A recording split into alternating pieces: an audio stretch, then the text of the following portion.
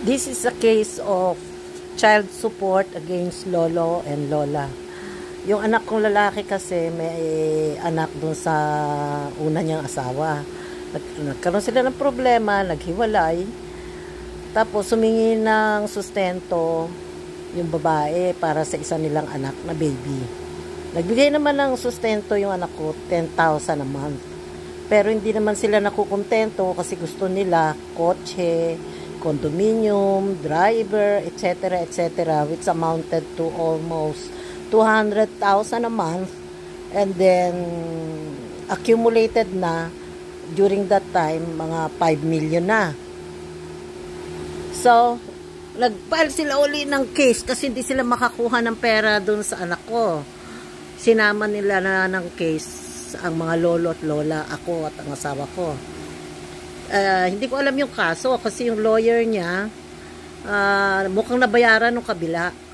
So, nagpetition kami sa Supreme Court uh, sa Court of Appeals muna which is hindi naman wala naman nangyari umakyat sa Supreme Court. So this uh, sometime June nagkaroon na ng entry of judgment ang Supreme Court. So pwede ko nang i-discuss. Uh, which is na-affirm yung ruling na ang lolo at lola sa father side is liable for the child support. May entry of judgment na siya ng Supreme Court number GR number 253341. Ang pinagtatako lang ang magulang pareho pa naman buhay gainfully employed naman sila pareho uh, professional naman yung nanay uh, practicing dentist, bakit kailangan ang lolo at lola sa father side ay yung liable? Gusto nila milyon na suporta.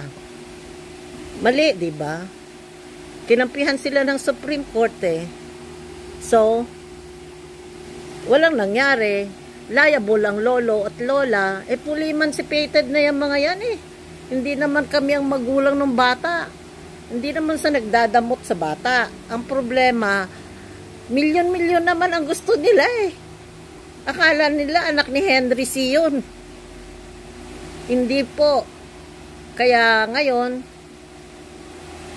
in, uh, karoon na ng entry of judgment. So, ano na lang ang magagawa namin?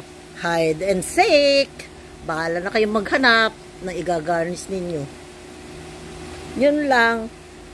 Comment kayo kung tama ba yun uh, reasonable ba yung law na yon